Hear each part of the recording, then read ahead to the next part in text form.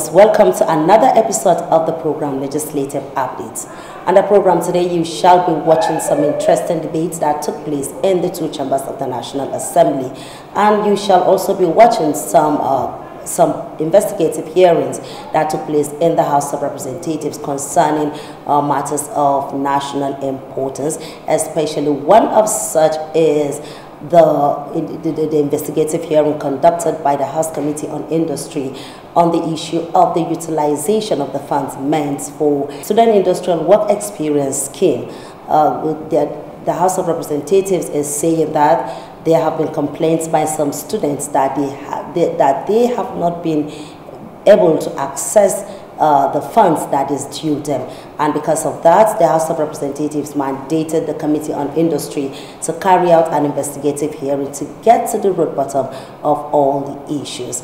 This and some other investigative hearings took place all in the National Assembly in the course of last week. I am Charity Tanko. Stay tuned. I'll be right back.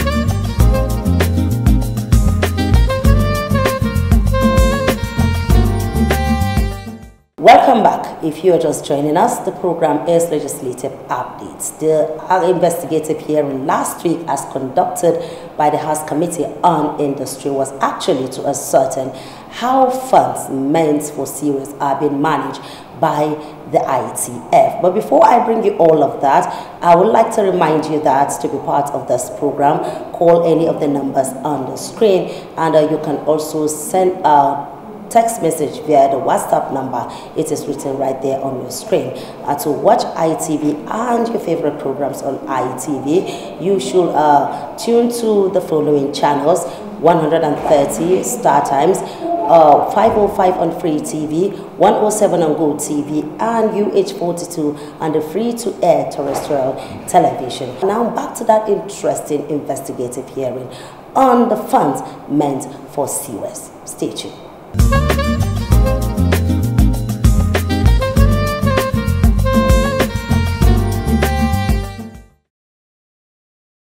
The Student Industrial Work Experience Scheme was established in 1973 as a way of preparing students to fit into the labor markets for employment after graduation. Students who participate in the COS are usually paid some monthly allowances as transport fare as managed by the Industrial Training Fund. But over the years, there have been complaints of non-payment of monthly allowance by some institutions. Pursuant to this, the House of Representatives mandated its Committee on Industry to investigate the matter, make recommendations on the way forward.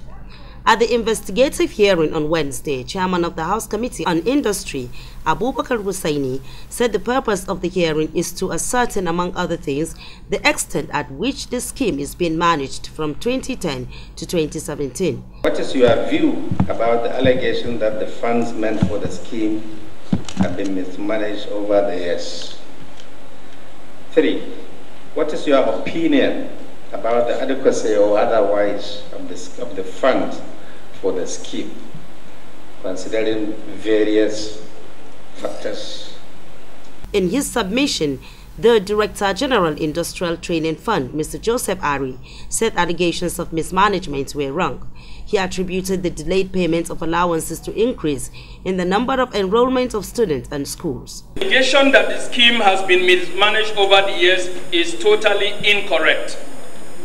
The ITF has a clear accounting system and has successfully managed the scheme over the years, linking institutions and students with industries.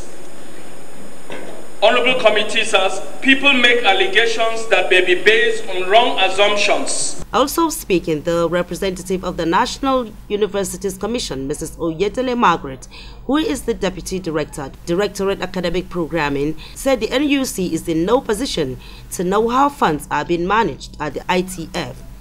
The NBTE representative said the 2,500 naira paid as transport allowance to the COS students is too meager. The NUC has neither been involved in disbursement of funds either to the students or university-based supervisors, nor ever participated in the monitoring of the operations of the scheme. The money is not serving the purpose as it as at when due. So we are suggesting or recommending that let's re-engineer this serious process and see whether we can have something. We can redisburse the fund in this way.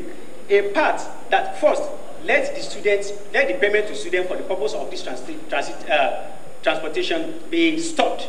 Right, we are not saying immediate action. Secondly, let the fund now be diverted to what we may refer to as mini industrial training and demonstration centers.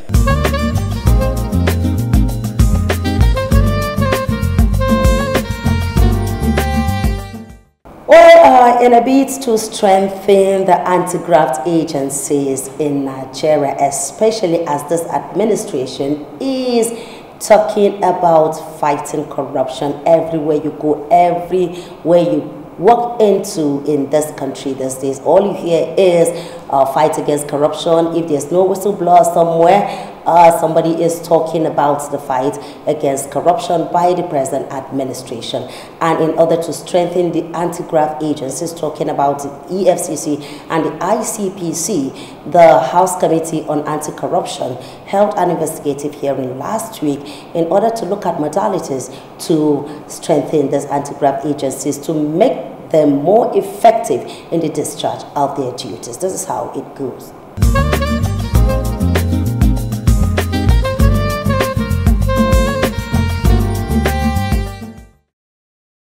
The Independent Corrupt Practices and Other Related Offences was inaugurated on the 29 September year 2000 with a mandate to generally halt the various perceived acts of corrupt practices arising from interactions and transactions involving government officials or private individuals. Concerns are being expressed in various quarters that the anti-graft agencies, however, is not doing enough in terms of fighting corruption to a standstill. And in a bid to address this, the House of Representatives passed the bill for an act to strengthen the Commission's efficiency. Even though the federal government initiated a whistleblower policy which attracts a reward to the informants in the event that the information given is authentic, the anti-graft agencies feel they should also partake in whatever come out of all recovered looted funds. The acting chairman ICPC, Alhaji Abdullahi Bako, and the EFCC representative, Mr. Johnson Ojobani, Deputy Director, Legal Department, did not mince words on this. The GEO categorically states that in line with practices in other countries like the United States of America, Ghana, amongst others, the anti-graft agencies in Nigeria should be given at least 5% of all recovered looted funds for operational purposes. And ICPC is also urging the Commission, the National Assembly to consider giving ICPC retain, to retain certain amount, percentage, be it 10, uh, as, as you deem appropriate to the Commission for the expenses or incurred in recovering that, uh, that, that, that money? We propose 5% of whatever, over the years, in, the, in this year alone, what we have has covered is something else. If a little fraction of it is given to the agency, we, we, can, we can buy stationaries, we can do a lot of things. Kodalinye Eziobi, Director Public Law of the Nigerian Law Reform, however, disagreed with the anti-graft agencies saying that will greatly jeopardize their ability to be transparent. Don't make somebody to, to, to, to.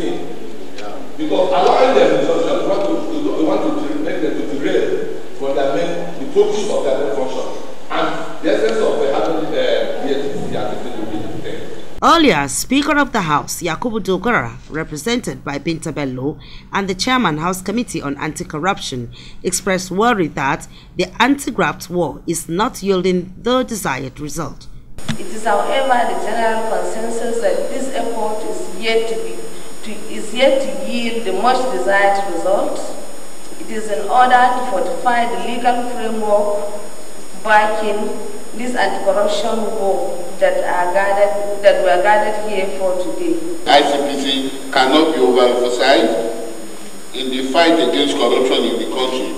The dynamism with which the enabler has taken its place is so disturbing that the need for its the need for its amendment is also very sacrosanct.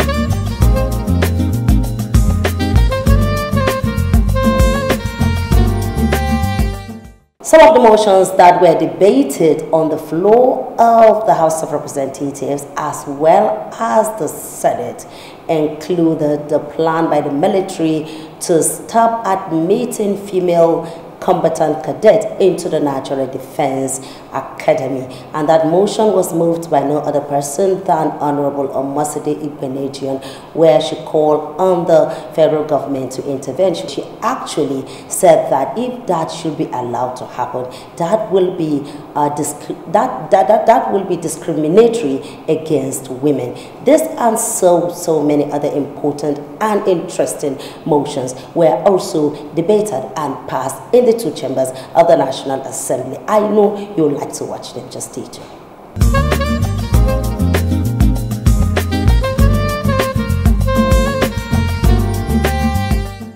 Moving the motion, Representative Omosede Igbinedion, member representing Ovia Federal Constituency, cited Section 42, subsection 1 of the Constitution of the Federal Republic of Nigeria, 1999, as amended, which prohibits discriminatory practices against any person on the basis of sex. Nigeria is a signatory to the Beijing Declaration of 1995 and the follow-up summit on strengthening the institutional arrangements for support of gender equality and empowerment of women, which also coincided with the Agenda 113 of the seventh session of the United Nations General Assembly of 2012. She noted that the affirmative action is geared towards increasing the representation of women and minorities groups in the areas of employment, education, amongst others. Military stop admission of female of combatant female cadets, which, if true, amounts to a major policy reversal of monumental proportion and a setback because scrapping the course for women will deny them the opportunity of heading any arm of the Nigerian military.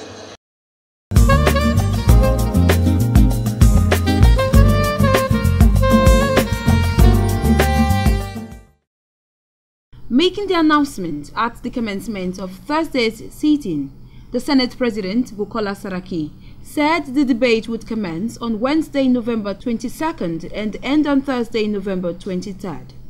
Next week, Wednesday, 22nd and Thursday, 23rd, should please put their names on the date you prefer to contribute to the debate.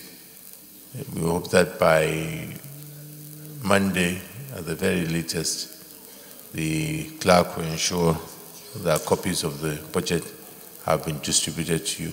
So please, there will be a register that will be open and you can please just put in the dates you would like to contribute to the debate. Shortly after plenary, the Senate spokesperson, Senator Abdullahi Sabi, gave more information on the planned consideration of the general principles of the 2018 fiscal estimate. As you know, based on our procedure in the legislation or in the legislature, uh, the laying of the bill by Mr. President,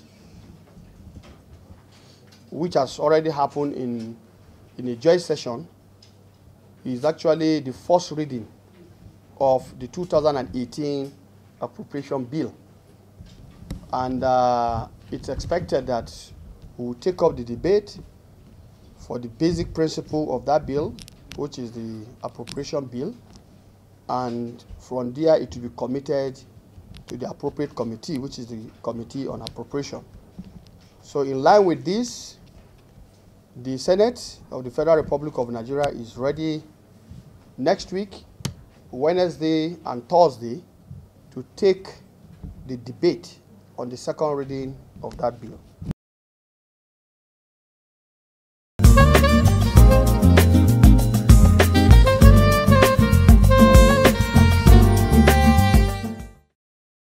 In his submission, mover of the motion, Representative Mohammed Sani Zoro, complained that while fresh graduates from Nigerian universities are barred from enrolling for master's degree programs in universities without having participated in the National Youth Service Corps as a prerequisite. Their foreign counterparts are freely admitted for the programs without being required to tender certificates of participation in the NYSC. Lending their voices to the motion, lawmakers said the NYSC being a mandatory program for every Nigerian graduate, except in the event of exemption, should be taken seriously by every graduate regardless of the country of graduation. It is the same NYSC that has the authority to issue exemption certificate. Even when you are exempted under provisions of the act, you need the exemption certificate, which means that whether you have your PhD, you have your master's, so long as you remain and do want to work in Nigeria,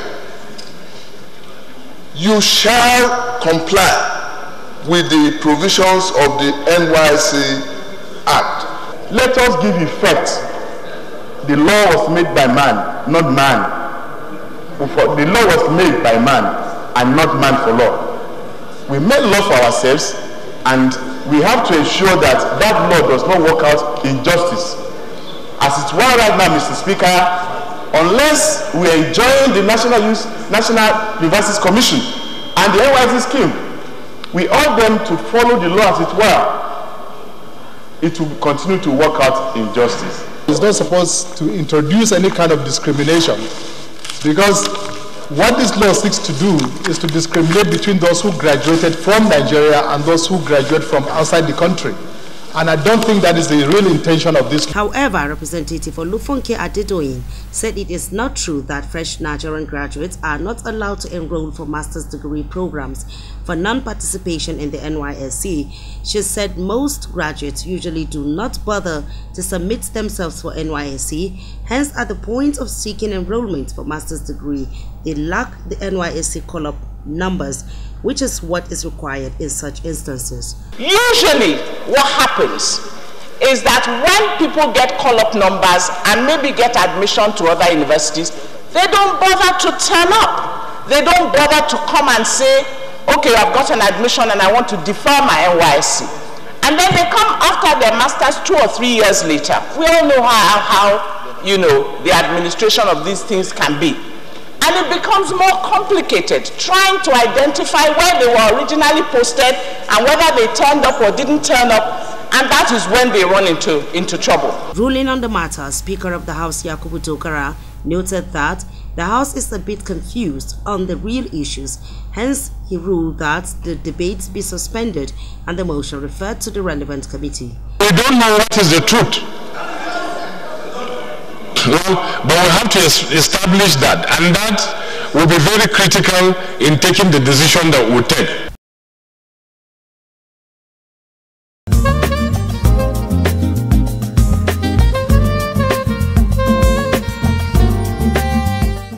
On our interview segment, I am bringing to you Honorable Johnson Agbonayinma, where he expressed displeasure over the slow pace of the switch over to digital, from analog to digital in Nigeria.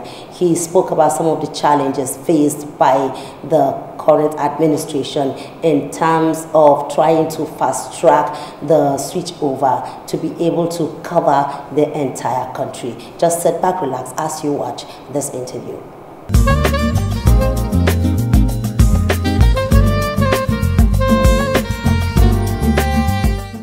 Lagos, Bubaka Federal Constituency, Edo State, the heartbeat of the nation. In 2006, some time ago, the International Telecom Telecommunication Union, uh, which of course they held a meeting in Geneva in try to set up a time frame for the exit of uh, from analog to digital. Uh, we call it DSO, you know, digital switch over in our dear nation. But I, I must say that our function is to do oversight, to be able to ascertain until proven guilty you are innocent. But I was a little bit worried and concerned when in, in watching some television stations castigating the committee not even for the fact that the report have already been submitted to National Assembly, even before it was submitted, they were already castigating the humble committee and the National Assembly for no reason. And I find that very difficult to, to accept. On no circumstances should anyone, what we saw on television, it is unacceptable. It is una unacceptable. By now, Nigeria should at least know what to do in order to put this country in, you know, in the right path of greatness. That uh, sincerely, let's look at it this way: that we have content owners, we have signal distributors. Why do not create a party that is not known called ITS? ITS was created, I think, to defraud the system. They have no license, they were no license. Up to now, they have not paid their dues. They have not. And when you begin to wonder and see somebody will just wake up from nowhere to use his influence to perpetuate fraud. Here's a, here's a company, a private company, giving 1.7 billion ITS, and go to their site and see the obsolete, obsolete equipment obsolete equipment of the highest order. Not first hand, not second hand, not third hand, fourth hand, fifth hand equipment. And we expect to get the best out of it. No. I want you to take a holistic view and go and do journalism. Go ascertain. You go and see so ground there. And compare to other company. I'm not holding brief for anybody. But what is fair is fair. We are all Nigerians. If ITS is giving 1.7 billion Another company is giving about 2 billion or thereabout. I should expect for us to have the best. Now you now start using civil society group just to castigate National Assembly and the Arrow Committee for doing a good job for your own nemesis. You shouldn't blackmail this house. You are on trial. You are the one that is the on, on, you know, that should should be asked question. Nigeria deserve to ask you question. What really happened? So this thing must see the light of day. It must. So I want to challenge you all for us to have clarity and better viewer, view, you know, television station in this country, so that we can have digital, you know, studio instead of analog. We are in the 21st century. We are still operating analog for God's sake. And for us to meet that, someone in Nigeria, a patriotic Nigeria, came, spent his money to build the time and put the equipment in the right position so that Nigerians can benefit from it. So we must do things right and join other Nigerians. If anyone is doing wrong, we should say it. If somebody is doing good, we should appreciate. Mr. Lai Mohammed have done something good in, in so many areas in the past. But on this very one, he's totally wrong. I should not derail the will of Mr. President's program. I should support Mr. President, President to support to succeed. Because if he succeeds, Nigeria succeed.